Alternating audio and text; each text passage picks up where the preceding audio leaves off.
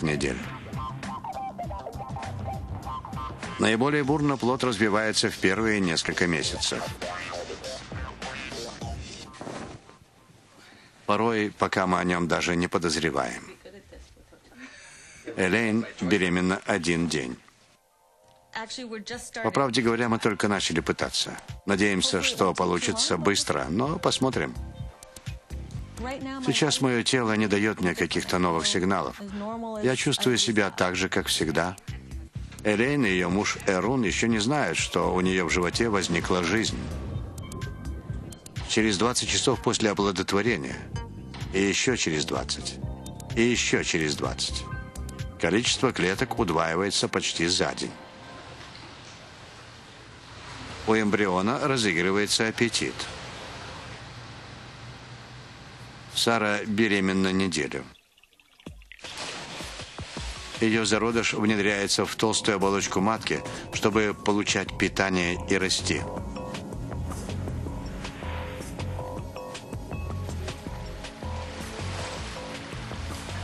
Если бы он продолжал расти с такой скоростью, то к моменту рождения стал бы больше Солнца. В оболочке матки Сары зародыш начинает работать.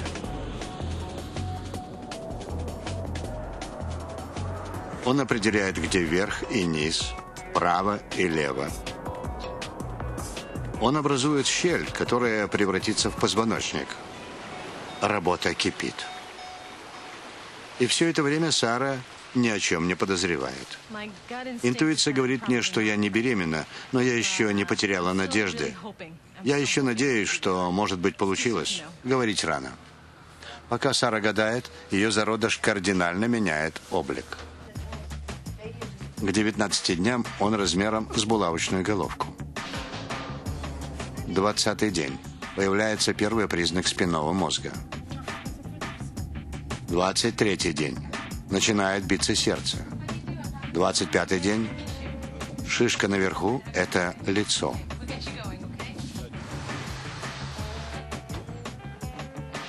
Внутри Сары формируется новое тело – имеющие почти все нужные черты и функции.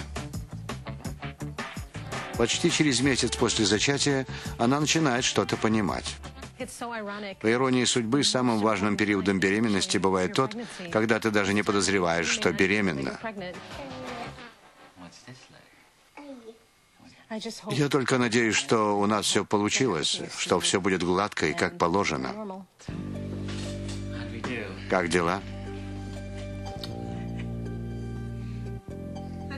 Это я. Шутишь? Не шучу. Сейчас у Сары заканчивается первый месяц беременности. Меня просто поражает, какая бурная деятельность сейчас идет. О боже, потрясающе.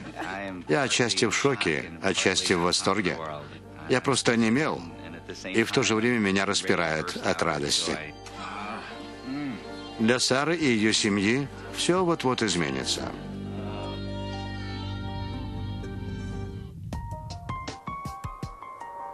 В возрасте одного месяца у эмбриона Элейн появились сердце, зачатки конечностей, спиной мозг и первый намек на лицо.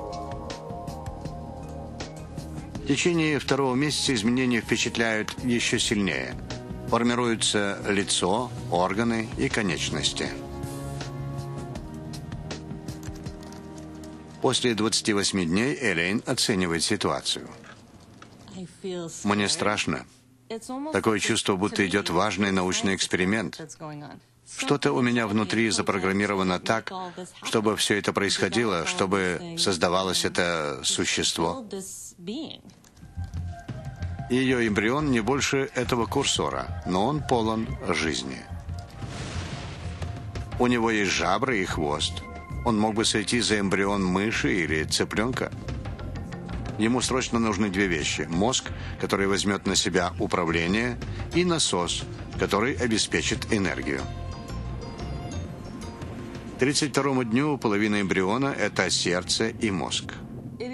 Странно, когда внутри тебя находится существо, которое не похоже на человека, особенно хвост. Хвост — это очень странно. Мы называем его головастиком. К сороковому дню будущий ребенок олень не больше кончика ее мизинца. Он весит меньше скрепки, и лицо у него еще не оформилось. На 44-й день глаза начинают смещаться к передней части головы, и уши поднимаются от плеч к голове. Его новые органы голодны. Сеть кровеносных сосудов растет, чтобы их питать. Это опасный этап. У меня было два выкидыша.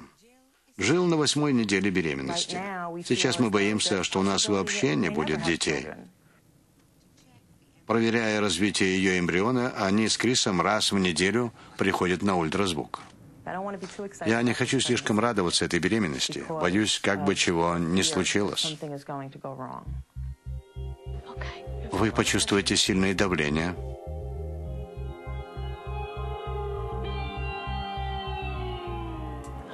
Есть сердцебиение. Хорошо. Смотри, какой он большой. Точно? Сильно переменился с прошлого раза, да?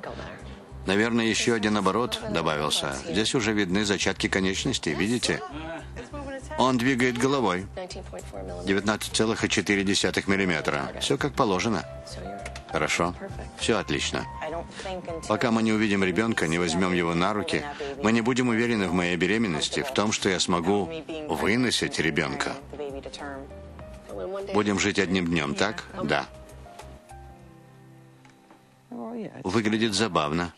Будем надеяться, что после рождения он будет выглядеть лучше. Да уж. Жил знает, что должно происходить, в теории. Обычно утром я читаю, что развивается в этот день. И мне нравится думать о том, что происходит внутри меня. Сегодня у него появится нос, завтра уши, а послезавтра пальчики. С каждым днем я на шаг ближе к тому, чтобы стать матерью. Какой это этап? К 48-му дню эмбрион жил уже размером с кончик ее большого пальца. 50-й день начинают формироваться пальцы рук на 4 дня раньше, чем пальцы ног. Руки появляются первыми, потому что ими будут пользоваться раньше, чем младенец сможет стоять. Сегодня пройдена еще одна веха – движение. После восьми недель возникли все.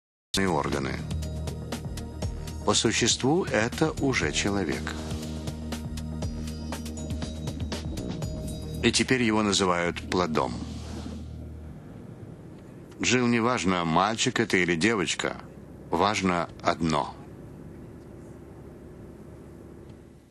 Мне нужен просто здоровый ребенок. В Америке и Европе каждая шестая беременность заканчивается выкидышем. Эта статистика тревожит Сару и Эрнани. Мы должны были пройти ультразвук и были совсем не готовы к такому. Результат вызвал у нас шок. Сначала за шею у малыша появилась опухоль, и теперь она распространилась от головы до ног. Редкое заболевание кровеносной системы. Сейчас мы молимся о чуде. Тяжелее всего думать, что будет, если поставят датчик, а сердце не бьется. Или еще что-то случилось.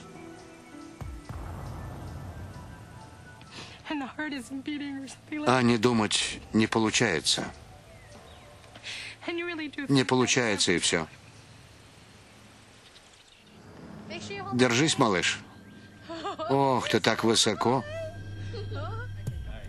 На одиннадцатой неделе Сара теряет плод. Но она уже успела назвать его в честь своего отца Наимом.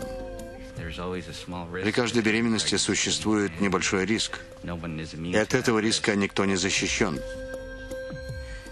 Жизнь вещь сложная. И каждый здоровый ребенок – это благословение.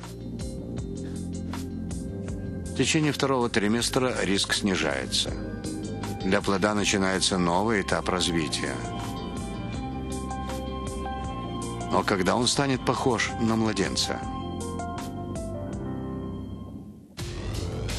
Конец второй части.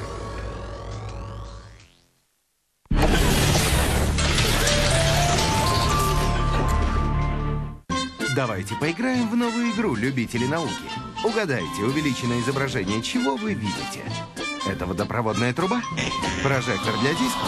Что это? В четверг в 20.30 премьера только на Discovery Science. Ну, конечно. Денис видела корабль пришельцев.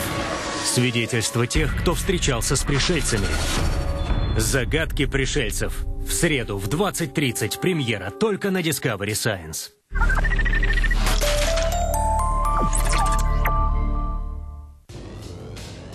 Удивительное тело. Часть третья. Плод развивается поразительно быстро, но и вынашивающая его женщина тоже растет. Оле предстоит набрать 14 килограммов. Еще и треть беременности не прошла. Он еще не готов к жизни, но все части уже есть. В начале третьего месяца почти все органы уже на месте. Теперь ладу Холли надо расти.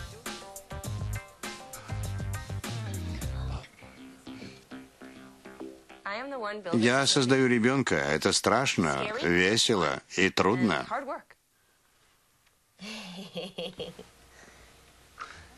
Длина плода почти 4 сантиметра его вес до рождения должен увеличиться в сотни раз. После 9 недель развития у него закрываются веки и срастаются ребра, защищающие сердце.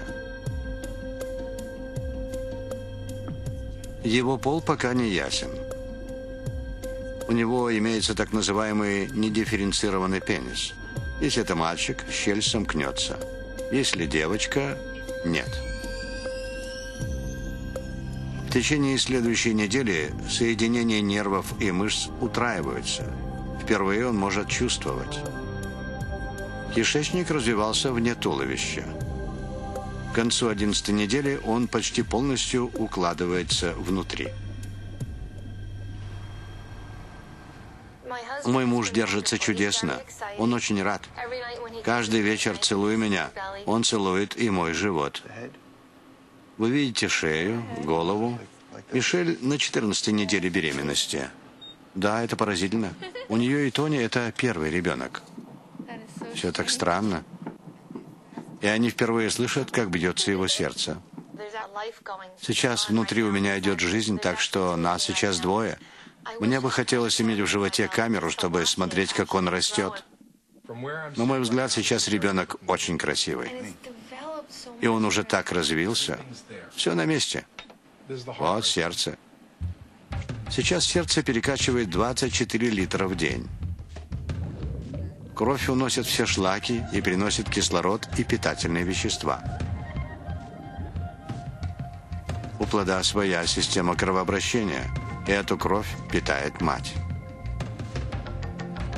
Смешение двух видов крови было бы губительно для обоих – Плацента служит барьером и фильтром.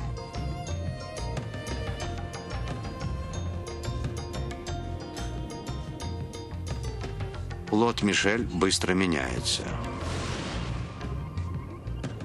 У него проявляется личность. Он может менять выражение. У него появляются отпечатки на пальцах рук и ног. На четвертом месяце он входит в контакт с окружающими его стенками. Мама впервые ощутит его движение.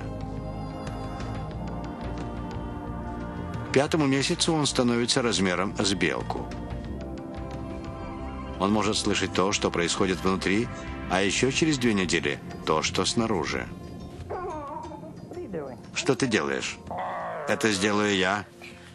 Папочка. Джеки на седьмом месяце беременности.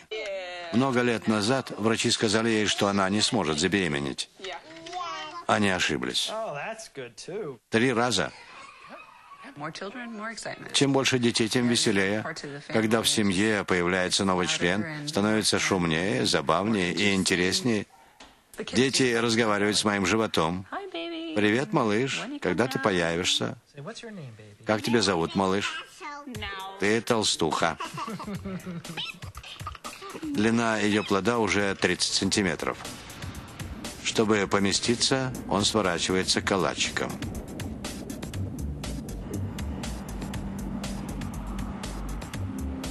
У него уже есть расписание. У него есть циклы сна и бодрствования. У него мало жира и множество морщинок. Шести с половиной месяцам его центральная нервная система развилась настолько, что может регулировать пищеварение, дыхание, температуру тела и движение. Если он родится сейчас, после 26 недель, то сможет выжить. Его череп остается гибким. На самом деле весь его скелет податливый, что помогает ему протиснуться через родовые пути. У него 300 костей, почти на 100 больше, чем у взрослого, чьи кости срастаются. Мозг у него пока гладкий. Позже Боровский увеличит площадь его поверхности. Больше места для хранения информации. Семь месяцев. Он приобретает слой жира, который послужит защитой при рождении. Когда тело наливается, кожа разглаживается. Мир ждет его. Хотя известие о будущем ребенке для некоторых становится неожиданностью. Так было со Сьюзен. Третий нас немного ошеломил, но теперь мы приятно удивлены. Это тоже радость. Плод у нее весит 3 килограмма, и Сьюзан чувствует каждый грамм. Живот большой, и я стала неуклюжей, чаще натыкаюсь на людей. Как и Сьюзан, Таниша вот-вот должна родить. Внимание, здесь беременная женщина. Когда люди проходят близко, то страшно, как бы они на меня не налетели. Осторожнее, поворачивайте. Разве вы не видите, что я иду? Мой живот намного меня опережает. Но в утробе жизнь гораздо спокойнее. Мир моего младенца сейчас очень защищенный.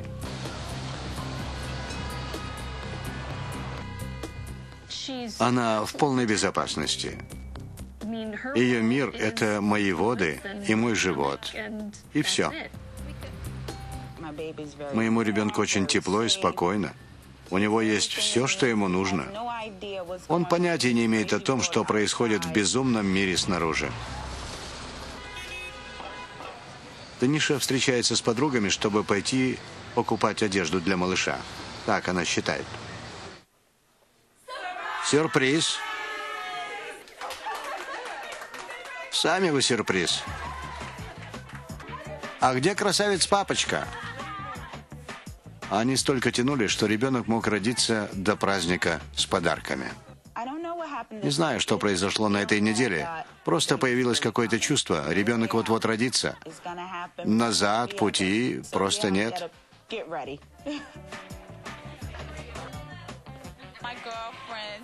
Это случится так или иначе, так что надо готовиться. Мои подруги долго этого ждали. Неудивительно, что мать перед родами заваливает подарками. Она уже прошла нелегкий путь. Пустая матка женщины имеет размер примерно с ее кулак. Во время беременности ее тело должно создать лишнее место. Позвоночник и мочевой пузырь, кишечник и желудок сдавливаются, пока плоду не надоедает теснота.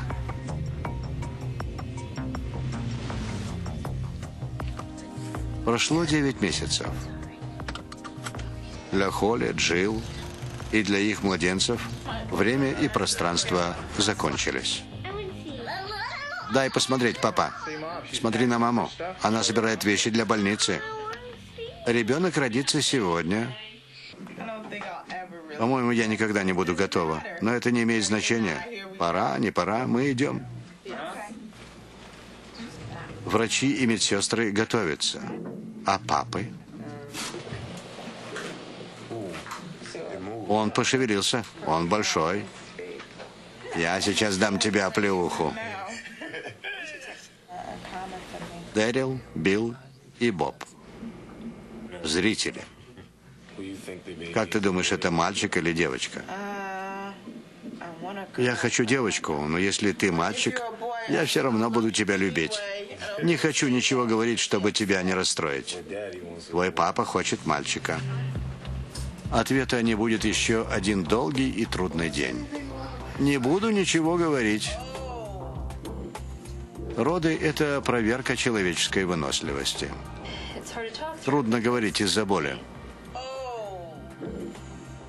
Схватки – это отчаянные попытки мышц матки совершить то, что кажется невозможным – вытолкнуть ребенка наружу. Очень острая боль в спине. Все так и крутит. Ужасное давление. Ребенок как будто давит, пытается протолкнуться наружу. Протиснуть голову через родовые пути – это все равно, что проглотить грейпфрут целиком. Все мышцы сводят. Да, это была очень сильная боль.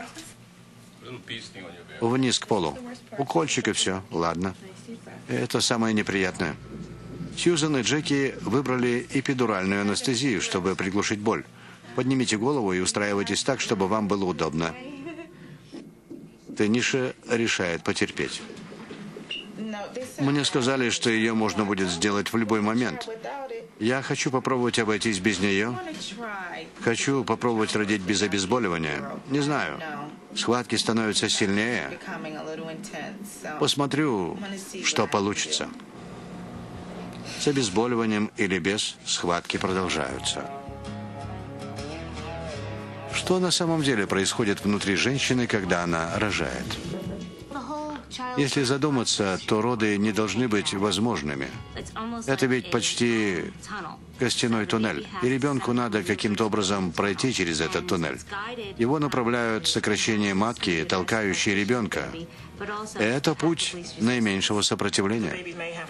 Ребенку приходится поворачиваться, чтобы его голова прошла через пространство в тазе матери. Некоторым детям приходится поворачиваться на 360 градусов. Ребенок поворачивает голову, как ключ в замке, чтобы она прошла по ширине таза. Затем он вращается, как штопор, чтобы создать место для плеч. Я знаю, что малышу очень трудно двигаться по родовым путям. Но для мамы это тоже не праздник. Сьюзен эпидуральная анестезия помогла. От схватки до схватки просто дышишь и стараешься терпеть боль. Пытаешься сосредоточиться и подготовиться к следующей. Это называется ненапрасными муками. Прошло четыре часа. Джейки приходится трудно. Просто страшно. Всегда просто страшно. И думаешь, я смогу снова это выдержать? Становится очень больно. Схватки будут еще сильнее. Будет еще больнее, понимаете? Так что, как только захотите обезболивание, скажите. Боли начались в 2.30 ночи. И сейчас около двух. Значит, прошло почти 12 часов. Пора получить облегчение. Я решила попросить анестезию. Боль становится очень сильной. Схватки стали частыми.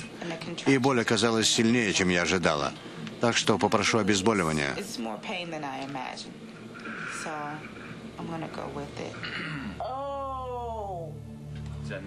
Это я или схватка? Это вы. Я. Вот и ниши первые роды. Обычно они самые трудные. Можете сесть, уже все. Хорошо, вы умница. Раньше я не тревожилась, но сейчас рождение ребенка все ближе, и мне становится страшновато. После анестезии прошло еще два часа. Эта ниша готова к последнему этапу родов. Самое трудное позади, но теперь нас ждет работа. Надо будет тужиться. Надеюсь, что ребенок думает, давайте, выпускайте меня. Потому что я думаю, давай, выходи. Мы готовы начать. Отлично. Он уже низко. Начинаем. Готово? Да. Тушьтесь на него.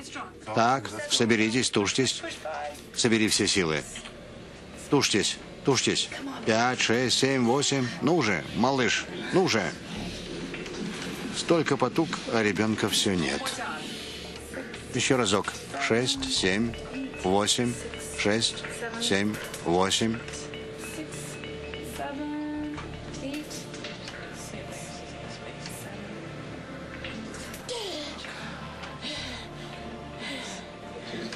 Не могу его родить. Все получится. Все хорошо. Роды ее утомили, а ребенок почти не продвинулся.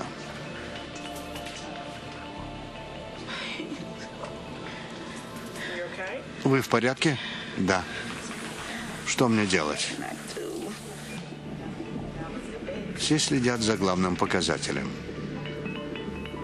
Монитор сердцебиения плода показывает, какой стресс переносит ребенок. Адреналина выделяется во много раз больше, так что сердце бьется так быстро, как больше никогда в жизни не будет. Пора принимать решение. Обычно, если мы два часа тужились и не родили, то делаем сечение – Дадим вам еще 15 минут и проверим прогресс. Если прогресс будет, подождем еще. Но если ребенок не сдвинется, начнем готовить вас к операции.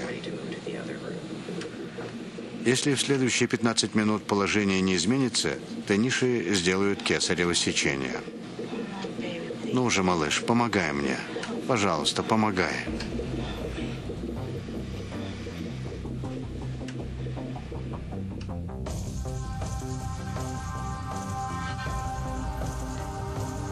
Последний этап девятимесячной Одиссеи самый трудный. Когда труды становятся непосильными для будущей матери. Конец третьей части.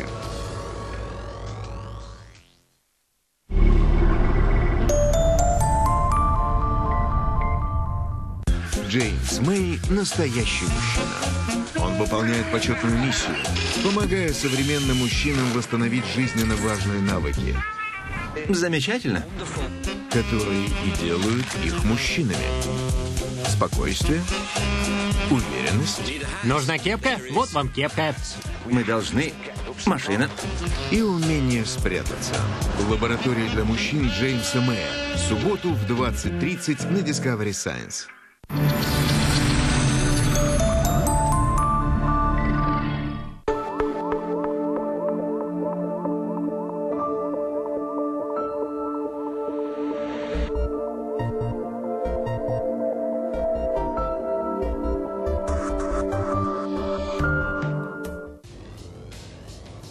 Удивительное тело. Часть четвертая. Рождение. Это главный триумф человеческого тела. Испытание, в котором проверяются два организма. О боже. Дыши глубже, малышка. Правильно. Тушьтесь вниз, сильнее, сильнее. После почти 17 часов родов Таниша близка к кесаревому сечению. Имея в перспективе скальпель, она находит в себе новые силы. Продолжайте тужиться. Тушьтесь сильнее. Пять, шесть, семь, восемь. Хорошо. Пять, шесть, семь, восемь, девять, десять. Отлично. В теле всех трех женщин идет конфликт, древний, как сама жизнь. Хорошо. Два, три. Череп против таза. Уступить должны кости и матери, и ребенка. Продолжайте, отлично. Семь, восемь. Да. Голова ребенка приобретает форму конуса. Таз раздвигается на 33%. Отлично, Джеки. Очень хорошо. Просто чудесно. Тушьтесь вниз. Продолжайте. Тушьтесь еще, еще. Так, прекрасно. О, боже. Ну, пожалуйста. Надо подвинуть ногу. Уже почти все. Почти все сделано, милая. Так, нам нужно еще один раз сильно, сильно потужиться. Продолжайте, еще немного, еще. Отлично, отлично. О, пожалуйста, поскорее, доктор Мак. Хорошо, отсос. Ну вот. Еще немного, еще чуть-чуть.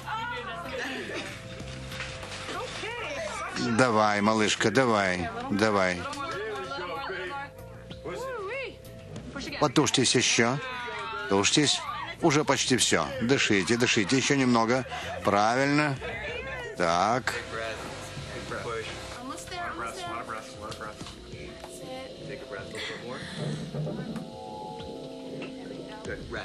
Теперь отдохните. Смотрите вниз. Смотрите.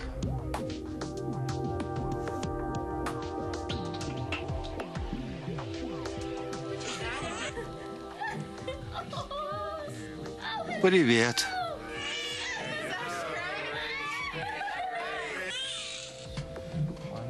Раз, два. Хорошо, головка родилась. Работаем дальше. Умница.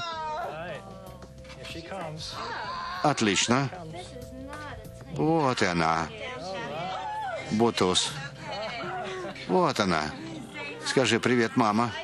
О, Боже. С днем рождения, Бутус. После девяти месяцев все системы и органы ждут проверки. Посмотрите на него. 19.07. Они работают чудесно. Потрясающее чувство. Наконец видишь человечка, который эти девять месяцев жил в тебе, и испытываешь невероятную радость. Отличная работа, Сьюзен. Поражаешься, когда понимаешь, что создала новую жизнь. О, Боже. Все это время ты создавала внутри себя нового человека, и вот он здесь. Тебе это было нужно, да? Идем к маме. Это комбинация тебя и любимого человека, и в ней воплощено столько надежд. Я совершенно в нее влюбилась. Я ее любила и до встречи, но теперь еще сильнее. Привет, лапочка. Посмотрите, сосет. Отдавай. Давай сюда. Ну вот, у нас трое детей.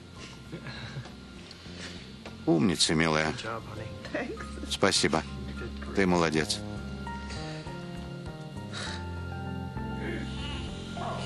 Чтобы родить, надо быть сильной. Привет, милый. Но все это для того, чтобы принести в мир новую жизнь. Парень, но ты заставил меня поработать. Для меня дети их рождение – это чудо.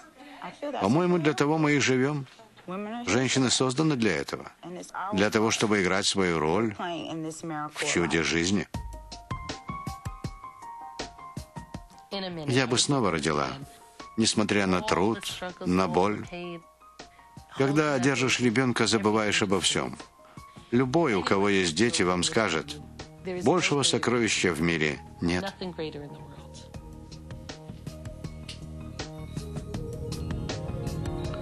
От одной пары клеток до одного триллиона жизнь идет своим путем, веха за вехой.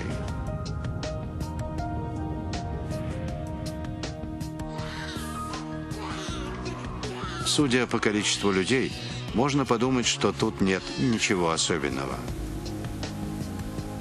Но кто будет отрицать, что каждый раз это чудо?